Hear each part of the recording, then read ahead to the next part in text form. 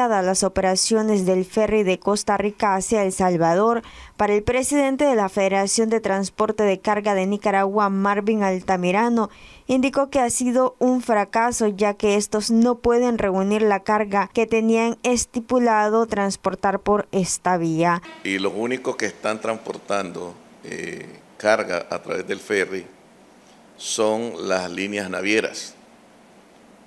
Las líneas navieras no están autorizadas incluso en Centroamérica para realizar servicio de transporte terrestre. Ellos están autorizados para hacer servicios de transportes marítimos.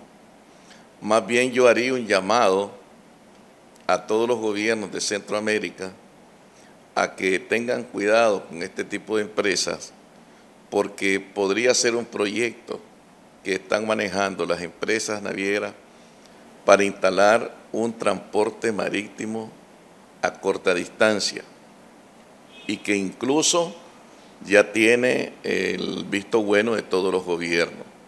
Pero en eso se están jugando las situaciones que pueden enfrentar con todos los transportistas de la región.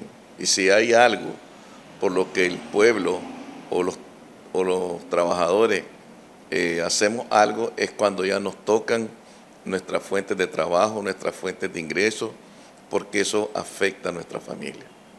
Definitivamente el ferry continúa siendo un fracaso. No han podido cargar ni 20 unidades en los viajes que han tenido.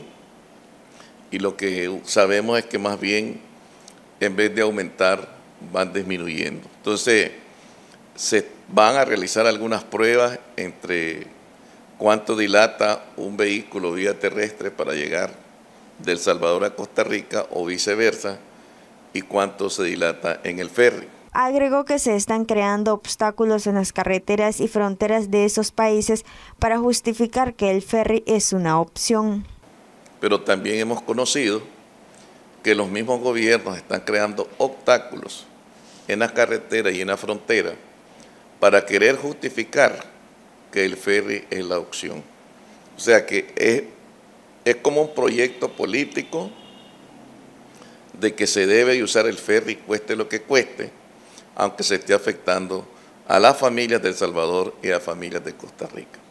Creo que deben de tener cuidado en eso y le hacemos un llamado a las autoridades de ambos países porque los transportistas dijeron no, rechazaron y el resultado que tienen es negativo. Noticias 12, Darlene Telles.